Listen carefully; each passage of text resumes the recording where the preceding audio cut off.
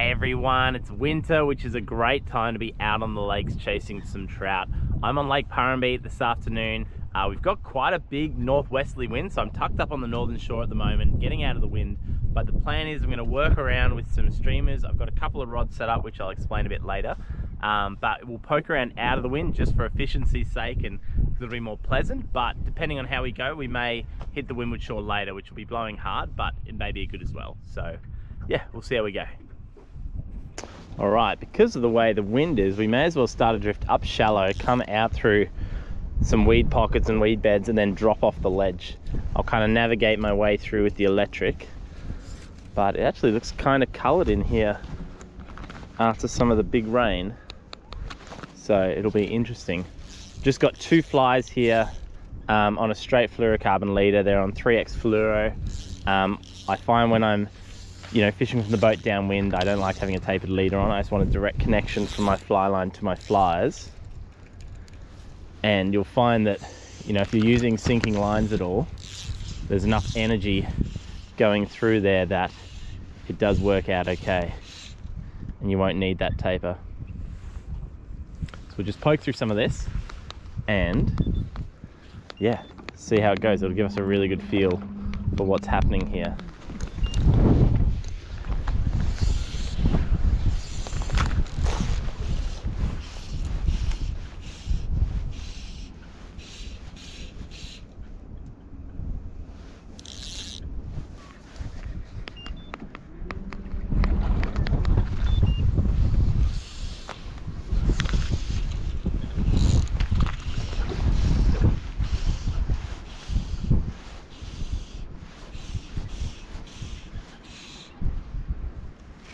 Got him. What's that?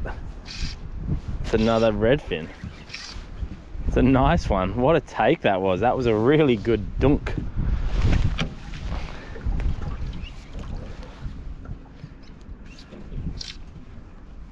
Strong fish. Come on, matey. It's a really tanky one. Come on.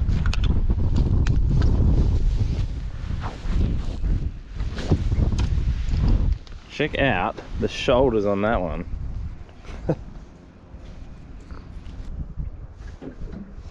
All right, well, where I started was not good, which surprised me. I didn't actually create a chance uh, for a trout that was, or salmon. So I've just shuffled along, fishing another piece of water here. I'm just gonna keep shuffling and moving in any water where it's kind of calm and I can fish with a lot of control.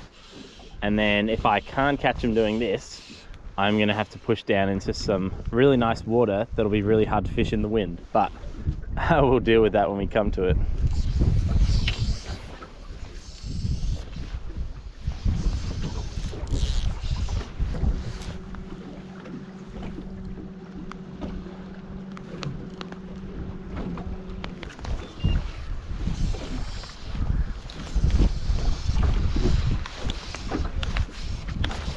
Got you. Oh, is that a double? No way. Oh, no. No, no, no. Oh, that got poleaxed. Oh, that hurts.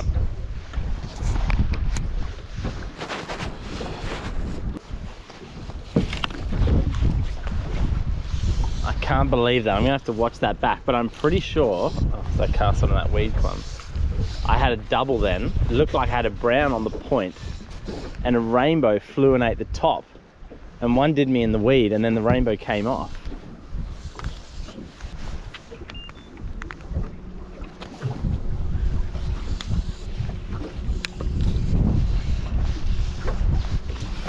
Got you. Oh wow, that is a big fish what is that?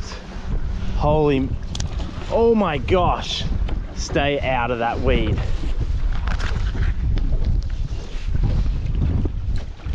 It's a big brown. I think unless it's a big tiger. That's amazing because moments before I had that heartbreak where I had two come off. Oh that's a seriously big brown I reckon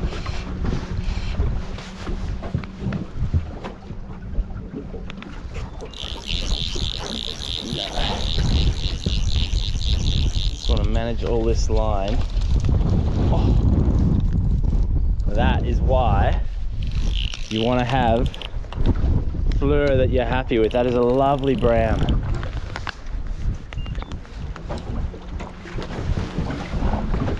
Just day down.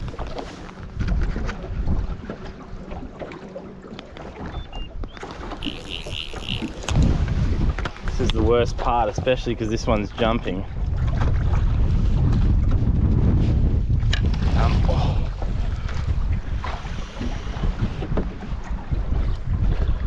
Come on.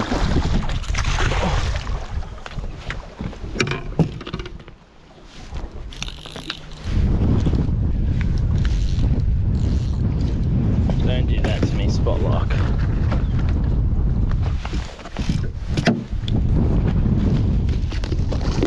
We got him. That is a absolute belter. Well, check out this.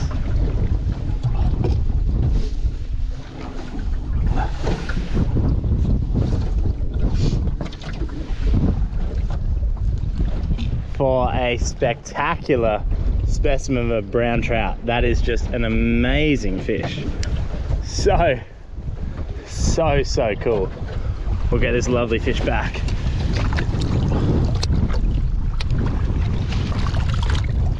Go. Oh, how good. That was awesome. So good.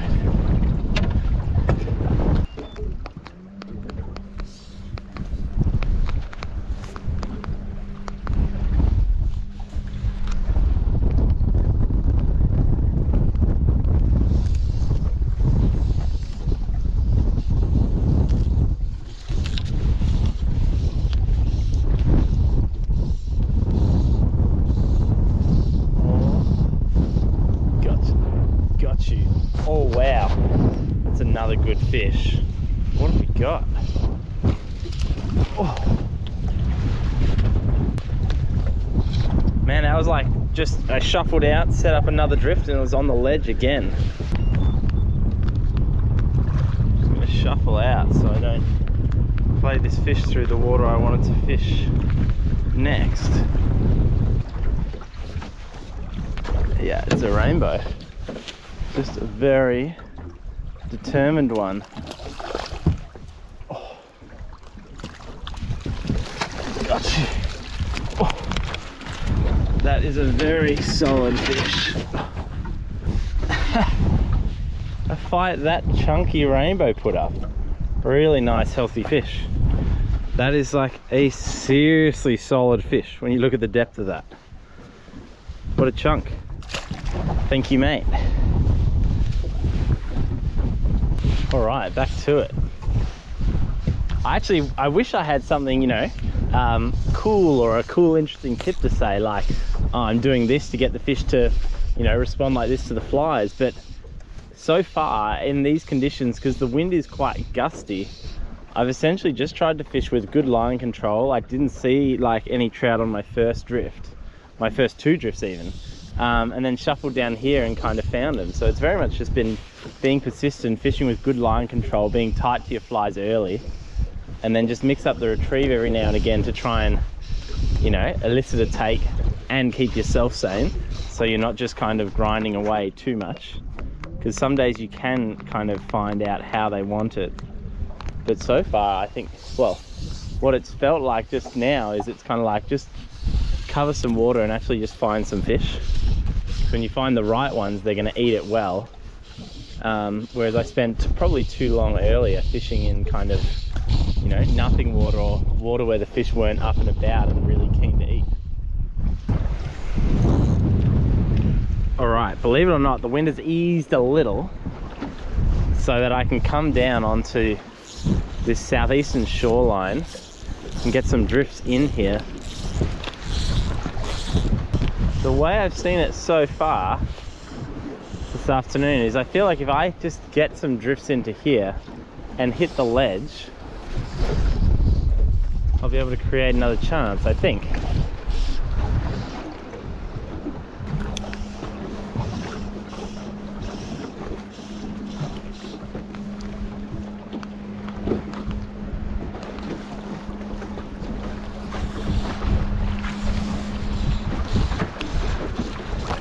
Got him. Oh, what? No way. Did you see that? Oh.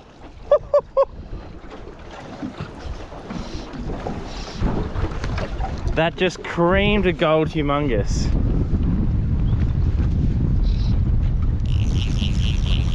Come on, buddy. What a fish. Oh.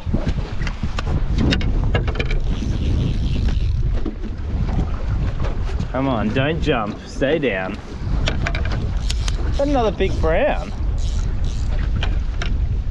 It's fishing so differently to last season.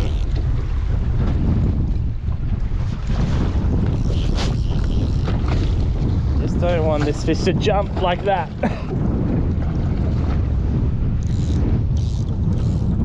it is a brown. It's got it way down.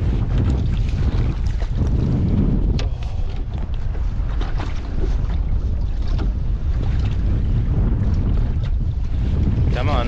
No, don't do that. Gotcha. Oh, that is a nice brown. That is another cracker. Oh. Have a look at that beautiful brown trout. That is an absolute stunner. That is a cracker. And it's woofed the gold humungous.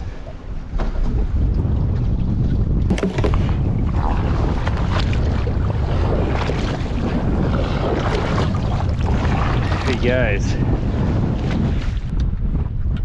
Okay, so I've just set up for another drift, but I thought good time to let you know what I'm fishing and kind of what the setup is today and what has been working. So it's been a, uh, a 353, which is like a five sweep line, which is a really good fly line if you're fishing out wide. It casts really well. Uh, it's just a great all-round um, line if you are on some deeper lakes. Then the leader wise, I'm fishing straight 3X fluorocarbon the whole way through. My flies are about six foot apart. Um, but it's just level. I like level uh, level leaders. You don't need the turnover because you got the punch of the beads and the heavy fly line as well. So super easy, super simple. And then fly wise, I've just been fishing, well, catching on a humungous and an orange beaded magoo. Again, really simple flies. You can uh, check all that stuff out. Gear, uh, flies, leader, all of that stuff. It'll be in the uh, the description. You can all purchase that. Just have a look at the links there. And uh, yeah, we'll get back into fishing.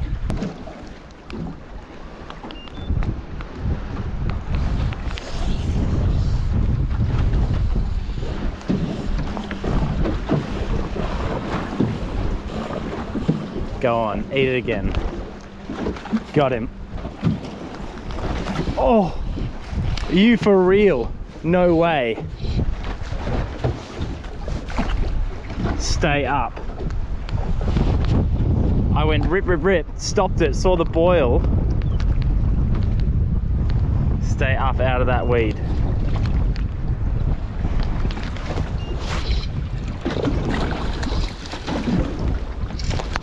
Oh, went through that weed and just clean broke me. Oh no.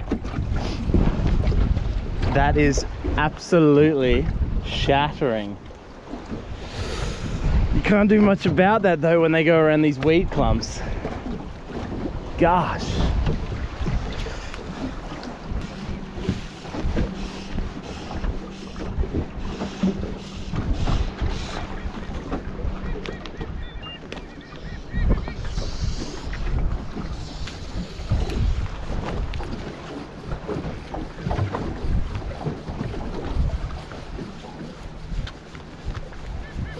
Got you.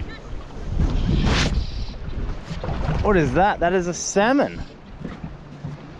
That is a beautiful salmon. Oh, taking off.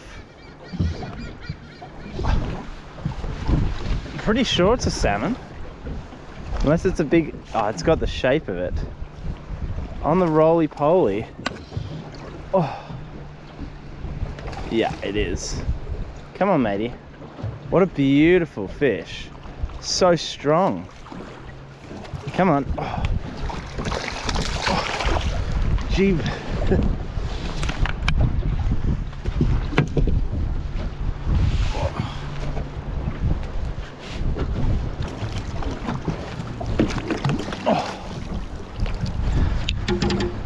check out that for a stunning little Chinook salmon there. I think we're getting joined by fisheries as well. We'll send this lovely guy back. Well, that was kind of random, but lovely Chinook. And then, um, oh, my stuck there. Um, and then water police came over and checked, so they were super lovely. You don't normally see them here, but um, yeah, cool that they're out. We're just going to keep doing these drifts in because I think um, the way it's been, you know, we may uh, we may pick up a couple more fish here.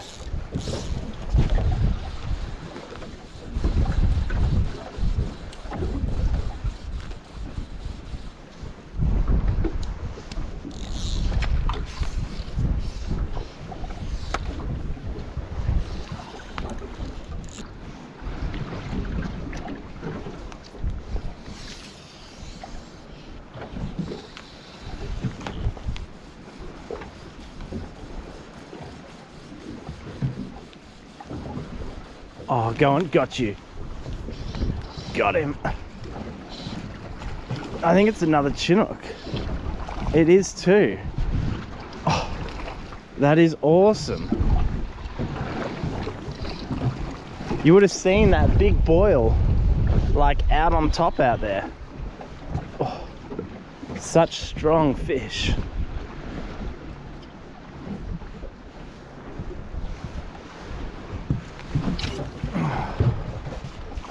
That is a cool fish. They are awesome. How cool. Another turbocharged Chinook. Look at the forked tail. They are just a gnarly fish. Oh, sorry, you're okay, mate. And the black mouth is just epic. All right, well, the rain's setting in it's five o'clock so i think i'm probably done. But uh, that was a really really fun and cool afternoon of fishing. It started out really really hard. And i guess the moral of the story is kind of well the lesson is fish within your means. Don't overfish. Don't try too hard. Just keep covering water and eventually you'll kind of find some fish and and get your opportunities. And like my rig today was so simple. I was on my 10 foot 7 weight here my recon. I had a type 5 the uh, 353 SA and then I just had like a humungous on the top and a orange beaded Magoo on the point and just chipped away at them. So look, keep moving. It was a bit of fun. Um, don't forget, you can find all links to the gear, all of that in the uh, description below the video. And if you did want to come out and do this, uh, you can. You can jump over to my website, have a look, tomjarmanfishing.com and uh, you can book a day on the water, be it boat, land-based, on the river during the river season, anything you like. So yeah, hope you enjoyed that and I'll see you next video.